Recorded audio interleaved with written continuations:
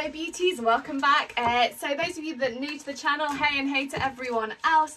Um, so what we're doing today is what they secretly want to tell you. Um, if you are new to the channel, welcome. My name is Ally. I am a psychic medium, tarot reader and high priestess to goddess. Um, so this is deck number one and this is deck number two we're looking at what they secretly want to tell you. Now, I love these two decks. There was really, Goddess were really drawing me to these two decks. Obviously, this is a triple moon Goddess, but on the, the patch is going like this with a secret.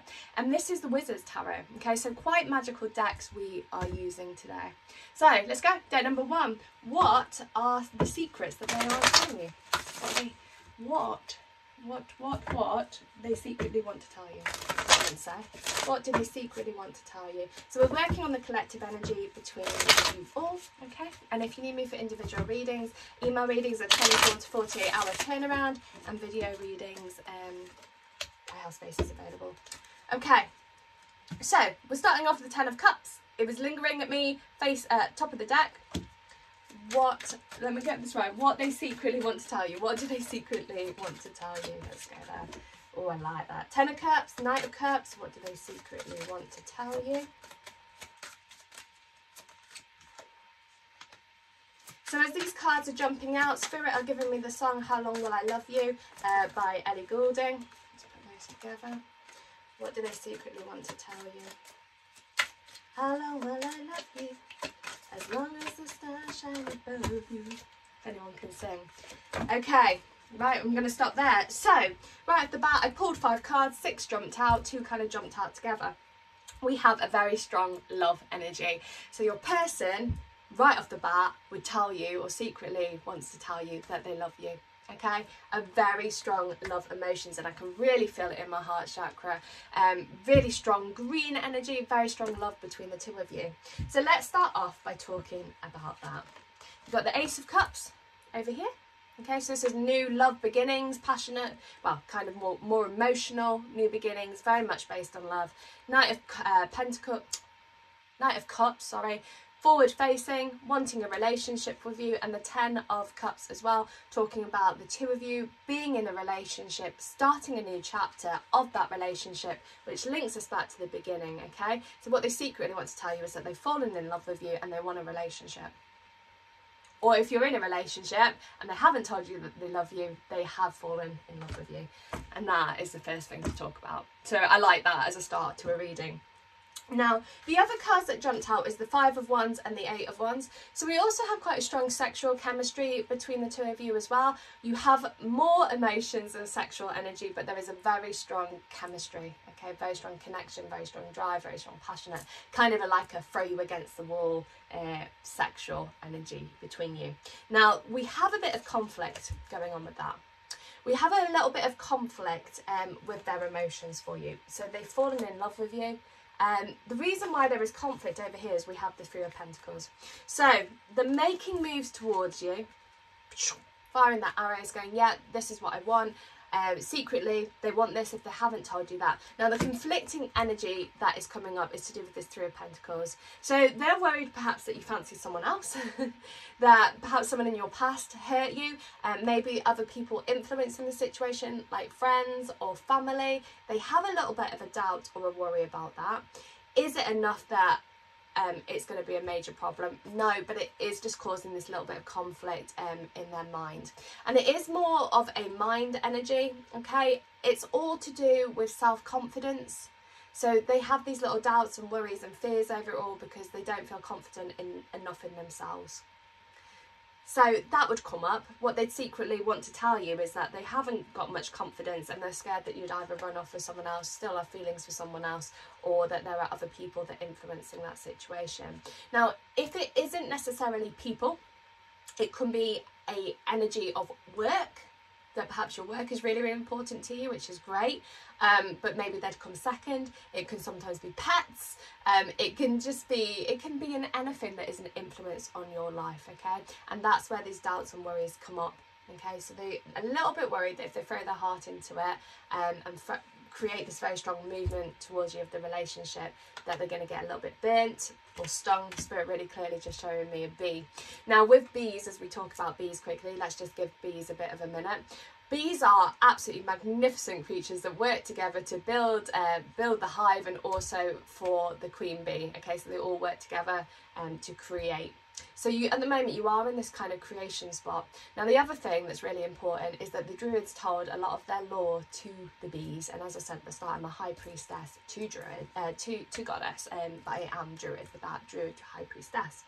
So with the bees kind of coming into it, they're a little bit scared that they're going to get stung. They're a little bit scared that more is going on than meets the eye, which is where the druid energy comes in. Um, but they also have this kind of, we'll work together and we'll work it out. It's going to work out between the two of us. They would secretly want to tell you that.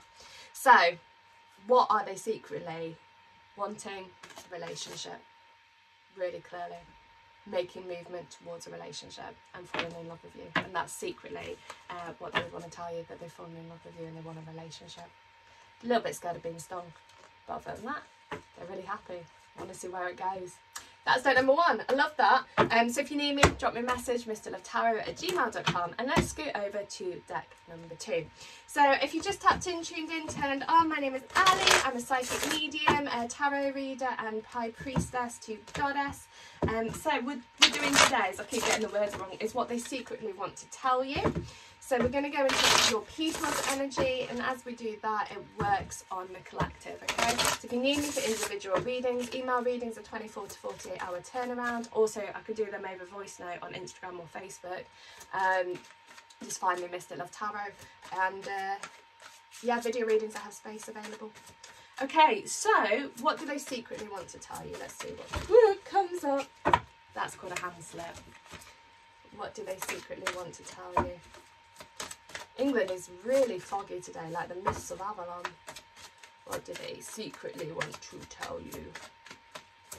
Two, three, four.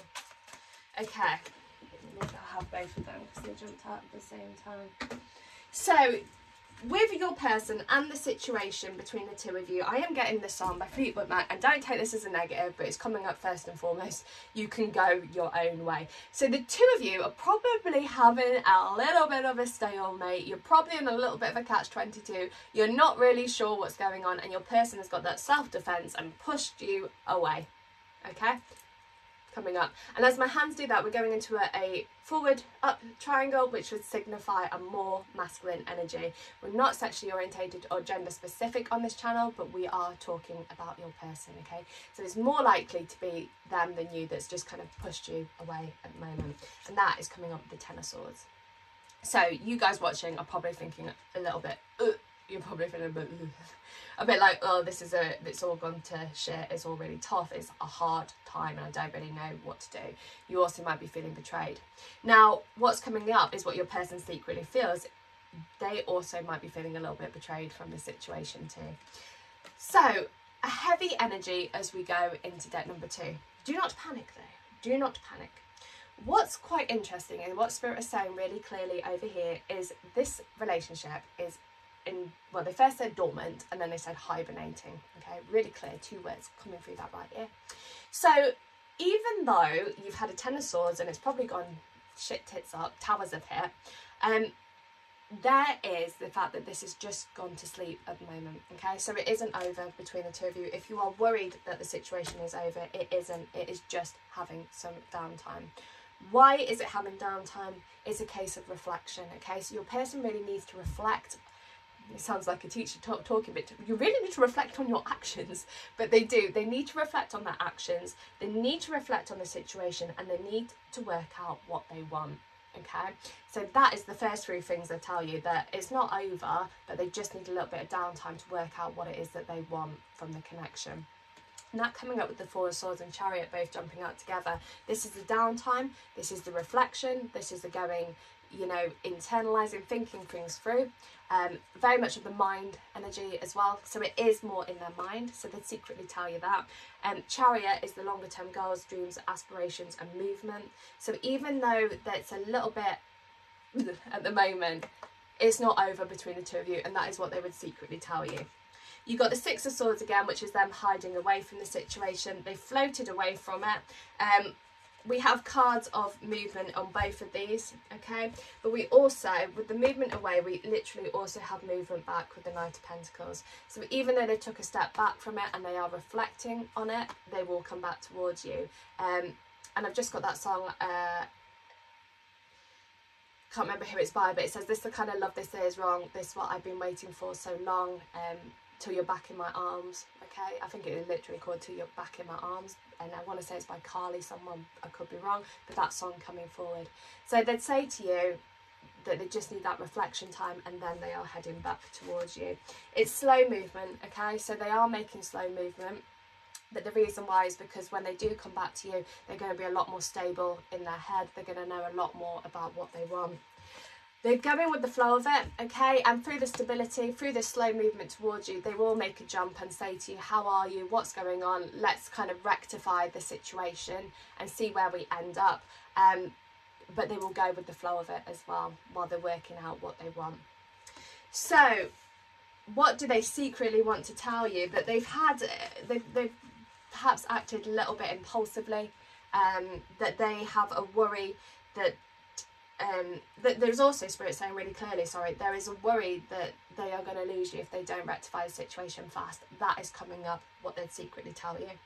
That they've made quite a snap decision on it and I just heard um I just I just heard Pisces really clearly so some of you guys I don't work with star signs when I'm reading other than in personal readings but Pisces really coming forward um quite strongly with you guys energy they've changed mind really rapidly um, and perhaps the choices that they've made on this, um, they're not quite sure that they did make the right choice, but they are quite stubborn and they're sticking with that at the moment.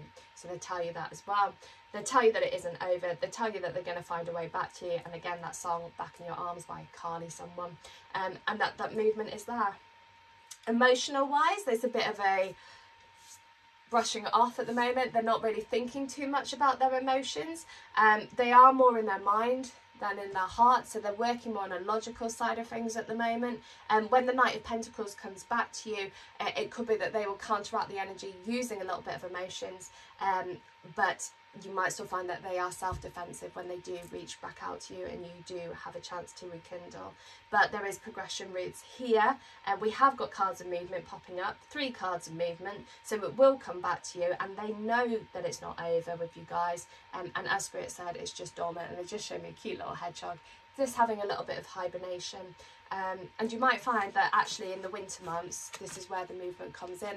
A lot of movement happens in winter months. A lot of pregnancy happens in the more winter months. Reason why is because the darker nights are that time for reflection, going inside yourself, seeking the truth, and through that comes out the, the answer that this, um, you are the person they want to make moves towards. Okay, so they'd secretly tell you all of that um, but they are hiding away from their emotions, working more on logic, but giving time, their time, that stable movement will come back to you. And that is step number two. Okay, my loves, if you need me, drop me a message, mysticlovetarot at gmail.com. I love you all, or you can DM on Instagram or Facebook. Um, email readings 24 to 48 hour turnarounds, and I can do them over voice note.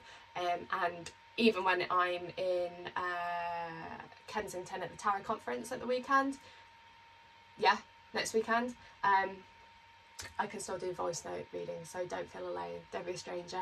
And uh, video readings I have availability for as well. So just drop me a message. I love you all, and I'll speak to you soon. Ciao, beauties.